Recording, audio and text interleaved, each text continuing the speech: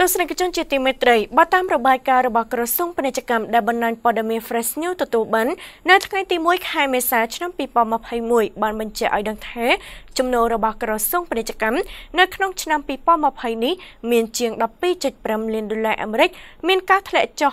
50%បើធៀបទៅនឹងចំណូលកាលពីឆ្នាំ2019 ចំណូលរបស់ក្រសួងពាណិជ្ជកម្មនៅក្នុងឆ្នាំ2021កន្លងទៅនេះទទួលបានចំនួន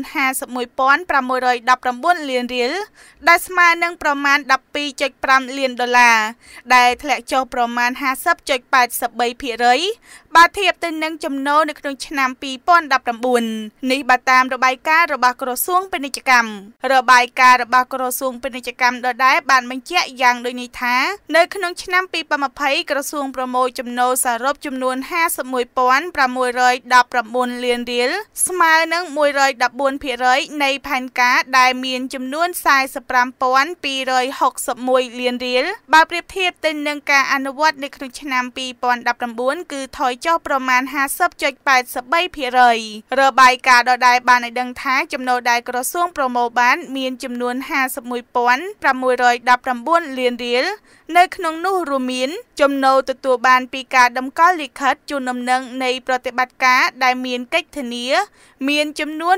312លាន5សែន20,000រៀល ចំណូលពីការទទួលបានពីការចុះបញ្ជីពាណិជ្ជកម្មមានចំនួន19316លាន6សែន10000រៀលចំណូលទទួលបានពីការផ្ដល់វិញ្ញាបនបត្រប្រភពដើមទំនិញនិងការចេញអាជ្ញាប័ណ្ណនិងសេវាពាក់ព័ន្ធមានចំនួន23576លាន284,123រៀល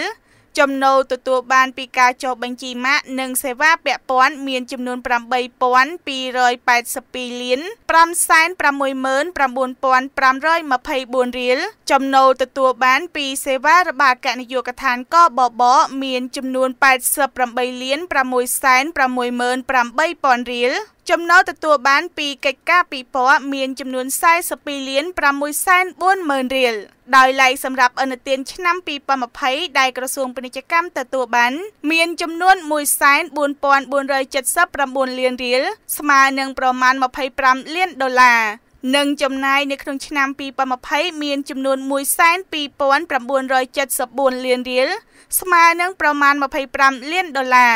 ឬស្មើនឹង98.6%នៃអនុទានថវិកាដែលបានផ្ដល់របាយការណ៍ក៏បានបញ្ជាក់ផងដែរថារាល់ចំណូលនិងចំណាយទាំងអស់របស់ក្រសួងពាណិជ្ជកម្មត្រូវបានបញ្ចូលទៅក្នុងប្រព័ន្ធគ្រប់គ្រងចំណូលមិនមែនសារពើពន្ធនិងប្រព័ន្ធគ្រប់គ្រងហិរញ្ញវត្ថុសាធារណៈជាប្រចាំធារណៈជាប្រចាំធារណៈជាប្រចាំធារណៈជាប្រចាំធារណៈជាប្រចាំធារណៈជាប្រចាំ